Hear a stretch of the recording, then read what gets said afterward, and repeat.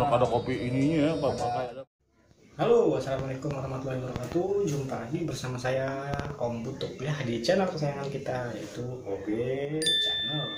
Oke, pada kesempatan kali ini tadi saya sempat eh, lihat video ya kalau nggak salah video yang lagi rame eh, masalah kopi kopi-kopi luwak gitu yang katanya mengandung serbuk mercon, mengandung serbuk, mengandung serbuk mercon.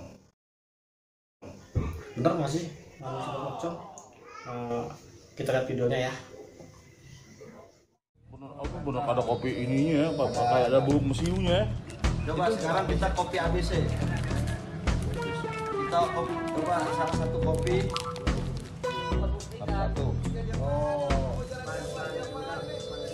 Oh bener. Dikit kandungannya ini. Coba kita co- mencoba lagi kopi luwak. luak doang nih.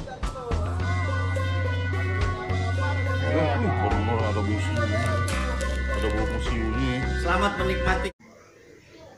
nah uh, setelah saya melihat video itu saya langsung uh, coba nih beneran membuktikan kebenarannya tentang video tersebut. Apakah memang benar mengandung uh, serbuk mercon seperti yang lagi rame yang lagi viral diomongin ya. Apakah cuma hoax belaka ya? Coba beli uh, ini ya kopi beberapa kopi saya beli beli. Uh, bisa untuk membuktikan ya kalau, ini mengandung serbuk mercon atau enggak. Pertama kita bahas yang ini ya karena yang ini yang lagi rame. Uh, pembuktiannya juga ada ya rame-rame orang kita coba buka dulu.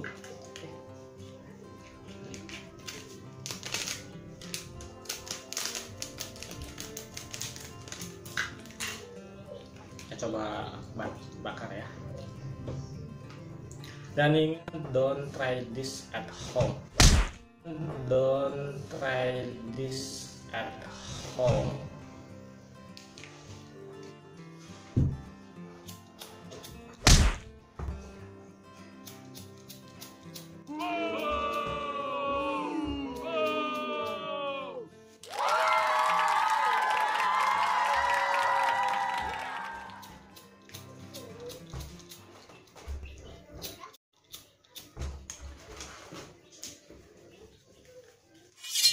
ya ternyata emang ada keluar api gitu ya. Tapi kita nggak tahu itu serbuk mercon apa bukan ya kan? Nah kita ini coba yang ini ya yang lagi rame lagi viral ini yang merah ini. Ya sekarang kita coba ini. kita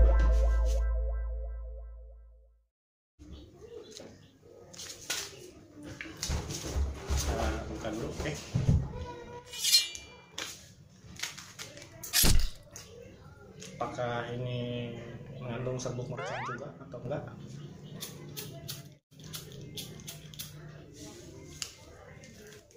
Ya mati.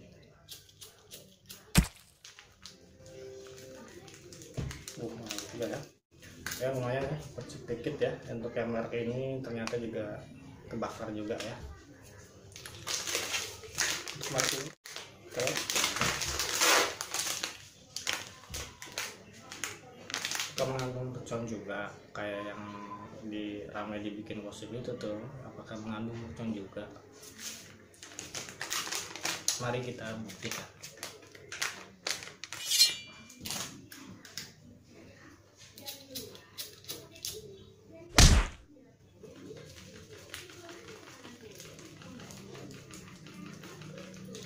Ya sama ya. Eh, jadi mengeluarkan api juga. Ya sama mengeluarkan api juga.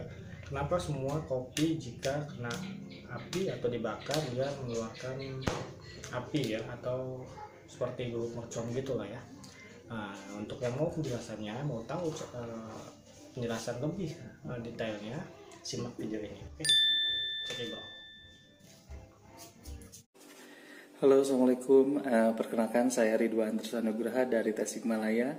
Eh, saya akan melakukan beberapa percobaan yang sekarang eh, mengenai rumors yang sedang beredar eh, mengenai beberapa merek kopi Indonesia yang mengeluarkan percikan api ketika eh, di diketemukan atau disulut dengan eh, api ya. Nah, sekarang eh, kalau dari saya eh, kalau dari saya pribadi saya menyimpulkan bahwa ternyata eh, kopi-kopi atau apa pun itu yang mengandung namanya creamer akan terdapat reaksi yang sama seperti itu. Jadi kesimpulannya kalau menurut saya pribadi eh, tidak ada yang namanya bubuk mercon ya, bubuk eh, mercon pribadi. Tapi semua minuman ataupun serbuk yang mengandung creamer itu pasti terjadi reaksi yang sama. Kenapa? Karena eh, kalau dilihat dari bahan creamer itu sendiri, bahan creamer itu sendiri eh, komposisinya minyak nabati ya, itu minyak nabati ataupun mungkin ada kandungan krim susunya ya, di mana sudah jelas bahwa yang namanya minyak ya uh, kalau misalnya diketemukan dengan uh, beradu dengan panas biasanya memang terjadi seperti itu. Seperti hanya masak ketika memasak minyak panas akan terjadi kepulan api nah yang saya simpulkan dalam ke proses ini adalah sama seperti itu di sini anget sari terlihat komposisinya bahwa ada gula, creamer nabati, susu bubuk. Kemudian juga di dalam gudai mochaccino komposisinya gula, creamer nabati, kopi instan bubuk dan lain sebagainya. Ya. Kemudian di gudai cappuccino pun gula, creamer nabati, kopi instan. Sedangkan di kopi kapal api, kopi hitam komposisinya hanya gula dan kopi bubuk.